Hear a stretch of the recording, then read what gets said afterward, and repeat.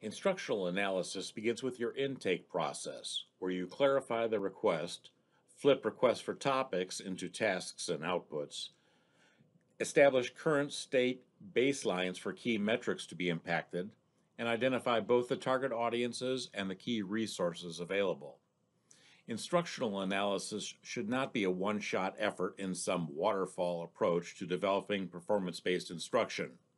And instruction includes both job aids and training.